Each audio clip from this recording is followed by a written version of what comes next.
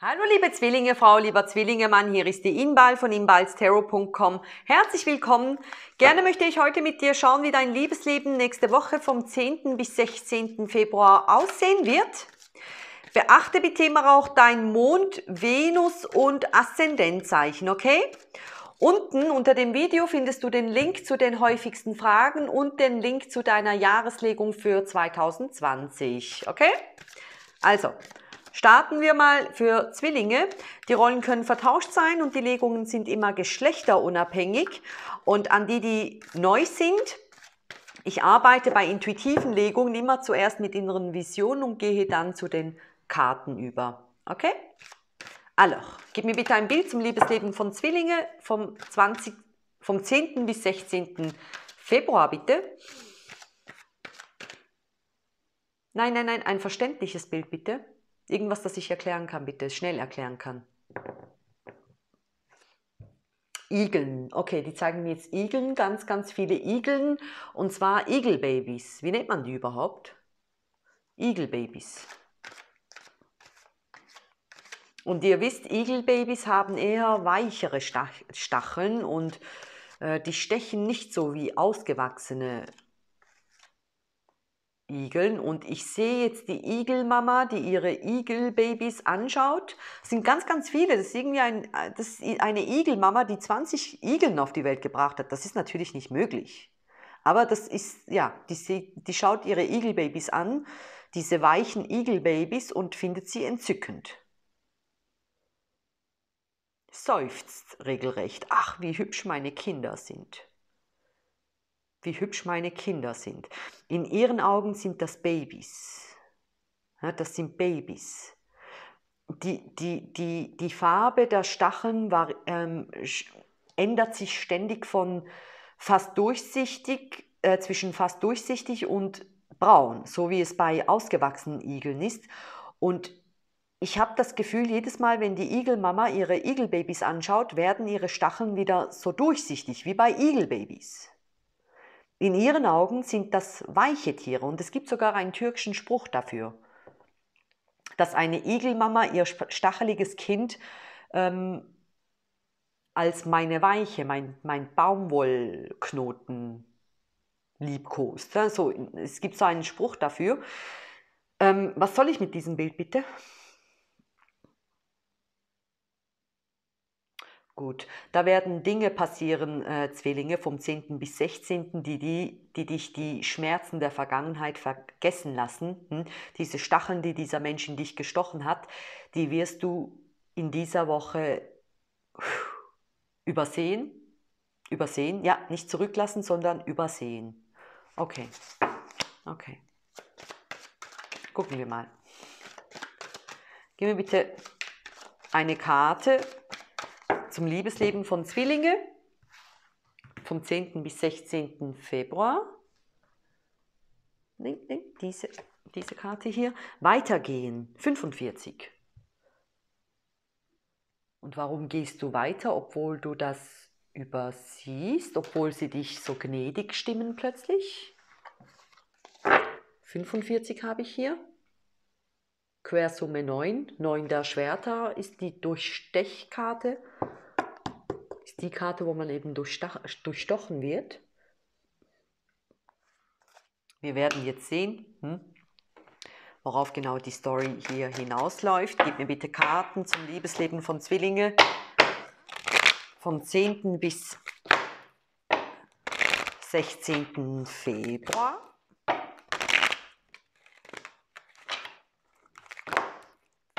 Liebesleben Zwillinge vom 10. bis 16. Februar. Februar ist das ein bittersüßer Absch Abschied, Zwillinge. Ein lieblicher Abschied. Eine Karte bitte zum Liebesleben von Zwillinge vom 10. bis 16. vom 10. bis 16. Februar.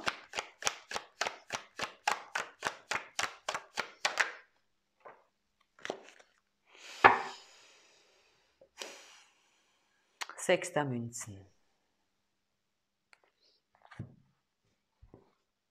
Die erste Karte bestimmt die Energie der gesamten Legung.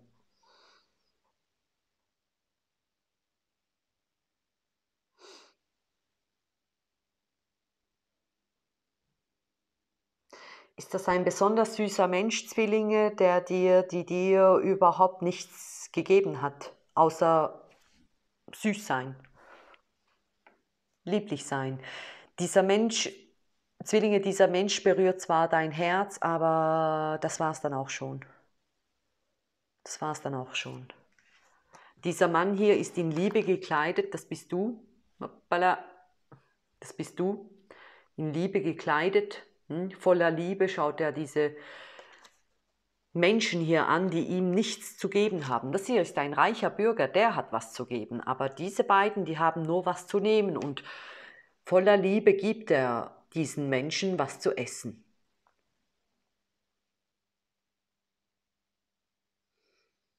Ja, das, das klingt jetzt ein bisschen hart, aber in Bezug auf Stabilität, in Bezug auf Materialismus bist du äh, blickst du ein bisschen herab zu diesem Menschen, Zwillinge. Nicht vergessen, die Rollen können vertauscht sein. Nicht herab im Sinne von, ähm, ich verdiene mehr, sondern, nee, nee, nicht, nicht so, sondern mehr im Sinne von, ich bin großzügig, er ist geizig. Hm? Ich habe ein Versprechen abgegeben vor sechs Monaten und heute halte ich es ein. Der hat mir vor drei Wochen ein Versprechen abgegeben und hält es heute nicht ein. In diesem Sinne herablassen, auf eine recht äh, gerechtfertigte Art und Weise. Okay?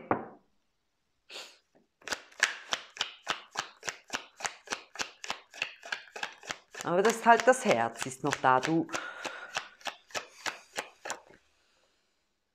es tut dir nicht mehr weh. Ja, das ist es, das ist es. Deswegen diese Igelbabys. Es tut dir nicht mehr weh. Igelbabys kann man in der Hand halten, die tun nicht weh.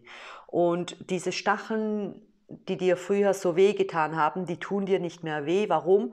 Weil dein Selbstvertrauen mittlerweile so hoch ist, dein, deine, dein Selbstbewusstsein so hoch ist, dass du jetzt weißt, es ist nicht so, dass sie mir das nicht gegeben haben, weil ich es nicht verdient habe, sondern weil sie es im Gegensatz zu mir nicht geben können.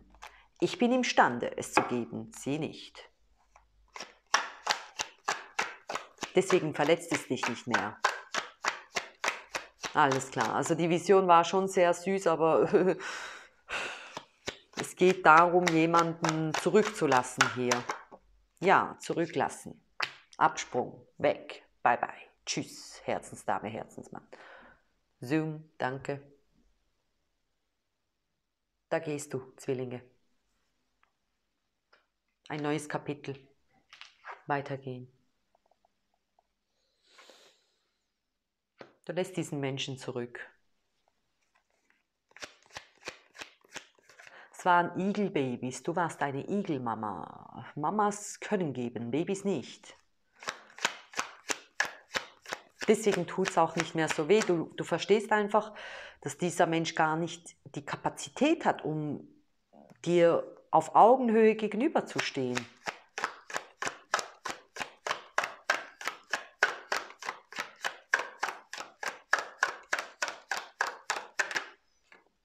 Königin der Stäbe.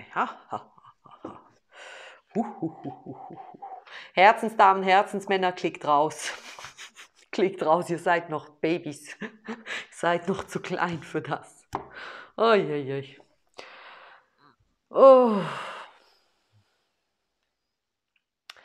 Zwillinge, da hast du jemanden ins Auge gefasst, der dir genau das geben kann, was du verdient hast. Se hier, dein neues Ich, selbstbewusst bis zum geht nicht mehr, weiß ganz genau, was sie will, wohin sie gehen will, wohin sie weitergehen will, hm, was sie zurücklassen möchte.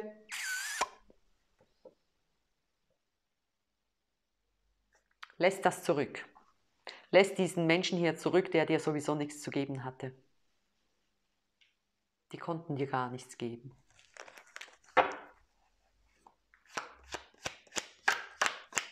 Ich sag's dir, du gehst hier zwar weiter, aber da, also es ist nicht so, dass du hier komplett einen Schnitt machst. Ich habe hier 45 ähm, Quersumme 9, da fehlt noch ein Schwert, ein Stab, was auch immer. Okay? Etwas muss da noch zwischen euch passieren, damit du wirklich komplett abschließt. He? Wollen und können ist was anderes, sind, sind zwei Paar andere Schuhe, sind zwei Paar andere Schuhe. Sind zwei Paar Schuhe. Kopfdeckel. Ich kann nicht mehr reden. Rat des Schicksals. Das Schicksal bringt dir jemanden, Zwillinge, der für dich bestimmt ist, wo du ganz genau siehst, aha, da ist er also, mein Traummann, meine Traumfrau. Er, sie kann mir geben, was mir als Königin der Stäbe zusteht. Ich muss hier praktisch weggehen. Ich habe jetzt darauf hingewiesen, dass du bei neun bist und eigentlich hier noch ein letzter Stab, eine letzte, ein letzter Schwert noch fehlt, hm, der dich dann noch abtöten soll. Aber du sagst, wenn ich jetzt hier abwarte, dass dass, dass ich hier abgetötet werde sozusagen, dann verpasse ich hier das Rad des Schicksals. Das Rad des Schicksals dreht sich und da ist etwas, das für mich bestimmt ist und ich muss da weg. Ich muss das nicht abschließen hier und äh, darauf warten, dass die hier jetzt kommen und mich abstechen. Ich muss jetzt dem Rat des Schicksals folgen. Bravo, sehr gut, sehr gut. So, so muss es sein. So, muss es, so kann ich Karten lesen. So, so kann ich das machen. Dankeschön. Dankeschön. Man geht weiter, man hält nicht an etwas fest. Das ist eine große Arkana, der kackt auf die neun der Schwerter. Der Narr, Rat des Schicksals. Vorwärts. Und das ist, der Rat des Schicksals ist die zehnte Karte. Der ist stärker wie diese neun hier und das ist eine große Arkana hier deine Vervollständigung, die da auf dich wartet. Vierter Kelche. Eine Chance, die du verpassen könntest da drüben. Und dein Herzensmann, deine Herzensdame ist komplett verwirrt.